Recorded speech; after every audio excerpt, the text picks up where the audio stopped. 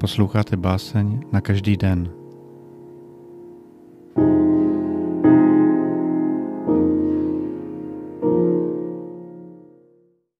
Šestnáctého prosince 1968 se narodila Vanda Heinrichová, česká básnířka a překladatelka. Básně jsou ze sbírky Jehla sestupuje, vydalo nakladatelství Fra v roce 2018.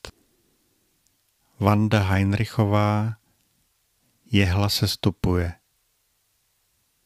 Dotek, šum, hudba. Opera veselá, opera smutná, pódium se točí, do tore, do tore. Řekněte, jak pak – chvějka kmitá a Tristan kloktár tuď. Pozvedá ruku, rukáv vlaje, vsakuje kaní námořníků. Matka nepoznává své dítě, ženich nevěstu, šlechtic se dvoří služce, služka přenádherně škytá. Mísí se masky a hlasy jeden přes druhý. Vieni o kara, vieni o karo, vieni o kara. Hrot v drážce, jízda teď vzlíná šelak, jen špička jehly se mě týká, kolik se na ní vejde andělů?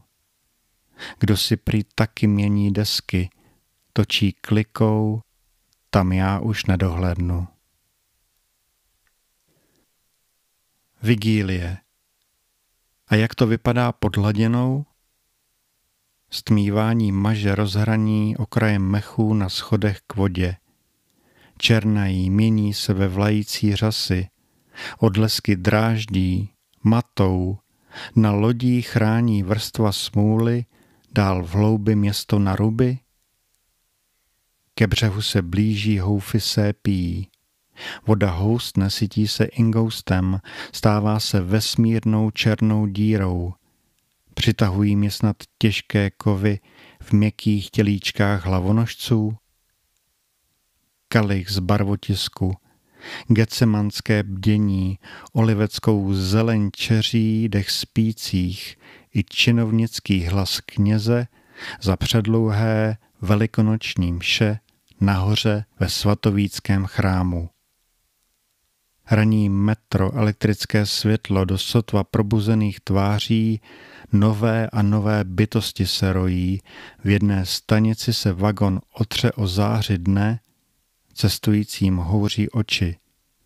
Někteří zahlédnou ten unikavý přelud, o němž snivý Ital v polospánku špitá. E bellissima, giovane antica, bambina e gia donna autentica solare.